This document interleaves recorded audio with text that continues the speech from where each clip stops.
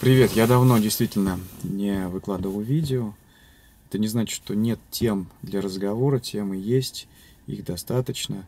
Э, чаще всего я был сам просто не готов, и да я до сих пор не готов. Мне с каждым разом новым, да, мне становится, становится все сложнее и сложнее, потому что как бы я считаю, что я беру на себя больше ответственности, поэтому и сложнее.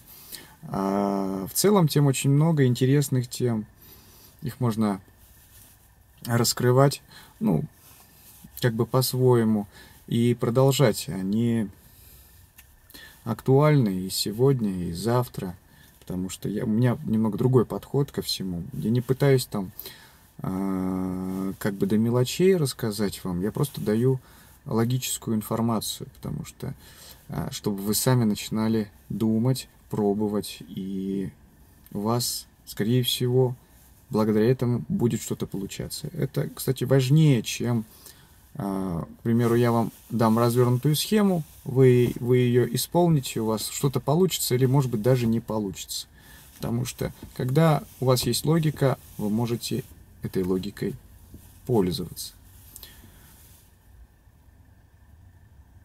Итак, а, что я хотел рассказать.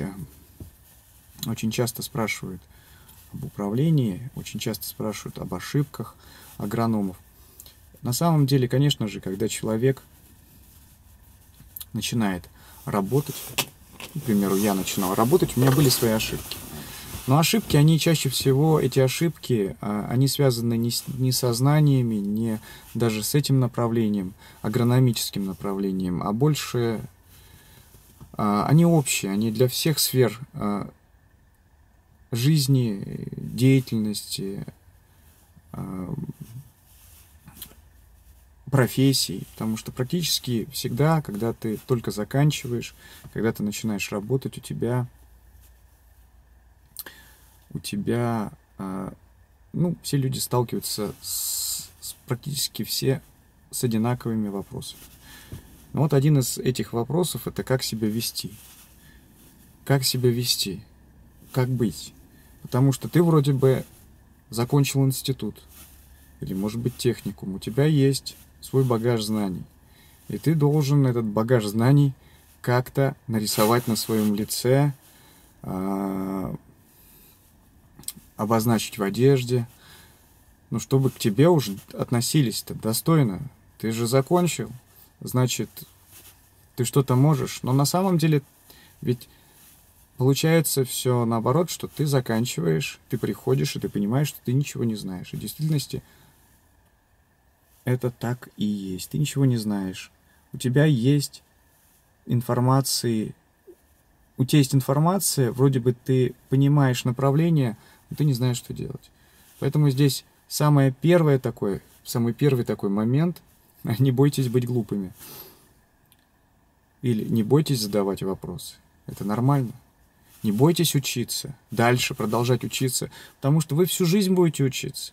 Если вам это интересно, если вы хотите это развивать, вы будете всегда учиться. Вам всегда будет что-то интересно знать.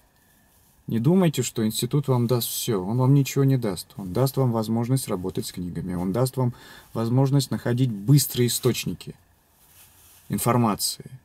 Логически мыслить именно в том, а, что вы делаете.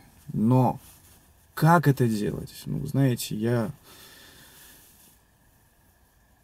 до сих пор иногда сомневаюсь в своих знаниях и вообще в них сомневаюсь.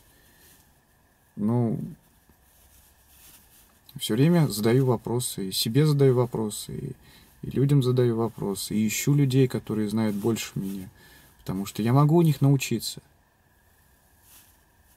Это, кстати, моя большая проблема, потому что я часто перерастаю людей. Перерастаю их. Просто-напросто двигаюсь вперед и перерастаю. Но вот это вот проблема моя. Я не знаю, как с этим справиться. Поэтому приходится подпитывать себя информацией извне, какими-то экспериментами, новыми знакомствами. Это очень важно, поэтому учитесь. Один из первых таких моментов. Не думайте, что вы все знаете, и не делайте вид, что вы все знаете. Не надо этот вид делать. а лучше интересуйтесь, вникайте, как все происходит, и чувствуйте, что чувствуйте вот это движение, у вас все будет получаться. Это один из моментов. Это первый момент. Это один из таких вот первых моментов. Это учитесь. Всегда.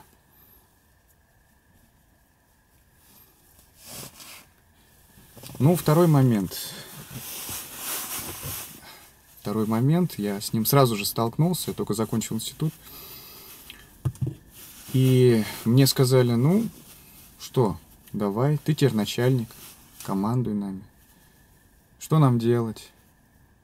Куда ехать? Что делать? Как себя вести?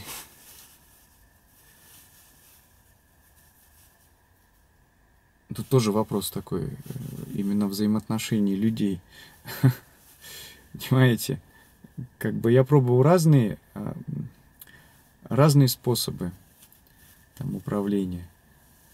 Но все же пришел к мнению, что самое лучшее это, это сотрудничество. Почему? Сейчас я вам расскажу. Потому что в целом люди не любят ни на кого работать. Я в том числе, и вы в том числе.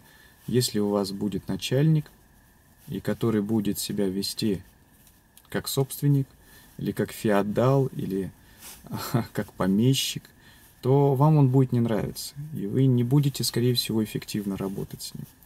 Поэтому здесь нужно понимать, что люди и все, что вообще происходит в мире, это происходит для людей. И те продукты, которые вы делаете, они делаются для людей. Поэтому к людям относитесь как к людям. А, создавайте им условия, пытайтесь понять их, потому что будут те, с кем будет невозможно работать. И те, с кем можно работать легко, с те, с кем можно работать, но тяжело. Вам нужно понять, как можно с ними работать, где именно вот эта точка соприкосновения. Ну, здесь есть некоторые, некоторые моменты, я сейчас вам расскажу. А, дело в том, что чаще всего нам кажется, что все вокруг нас что-то знают, все э, понимают то, что делают в профессии, особенно и механизаторы, и агрономы.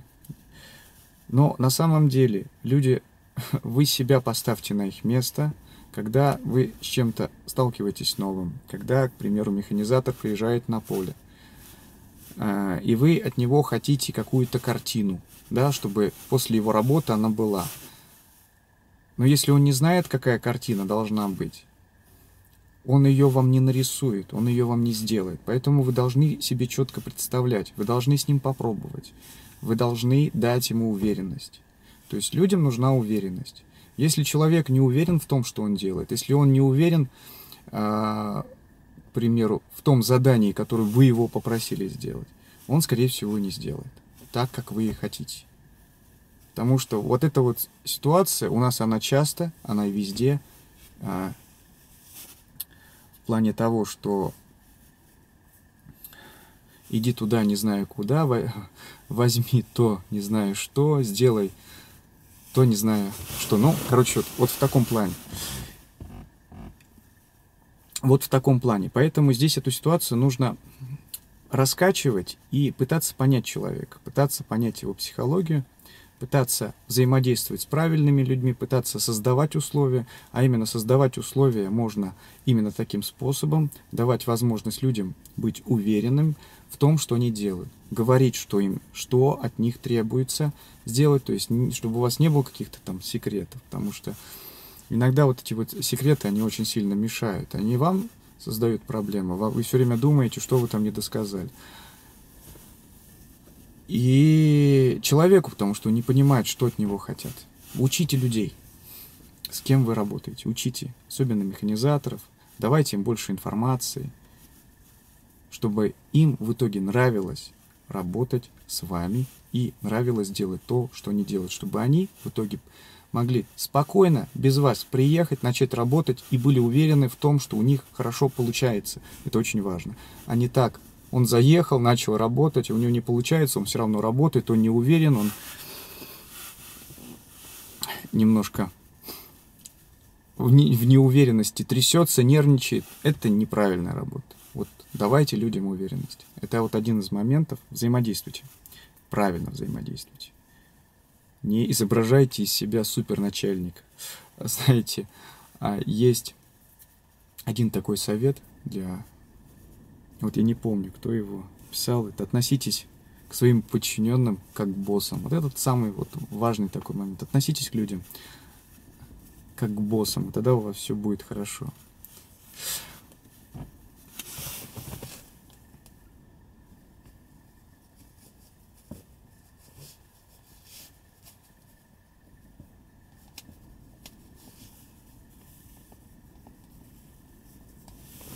Почему я это все говорю? Потому что у нас чаще всего проблема в управлении.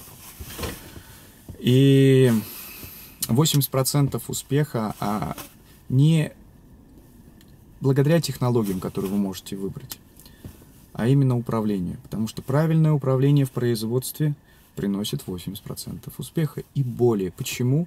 Иногда вопрос, управ... вопрос технологий, он просто уходит.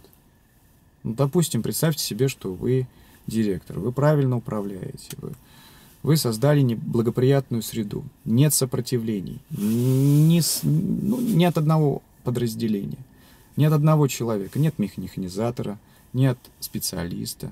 Вы пытаетесь внедрить какую-то новую технологию, и она у вас сто процентов получится. Они сами будут у вас появляться, эти технологии. Люди будут пытаться создавать себе условия для благоприятной работы самостоятельно. Они будут притаскивать, будут подглядывать.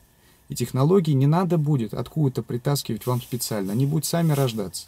Все будут участвовать, все будут взаимодействовать в производственном процессе. Это очень важно, кстати, создавать условия для работы для людей. И прежде всего эти условия связаны с управлением. И одна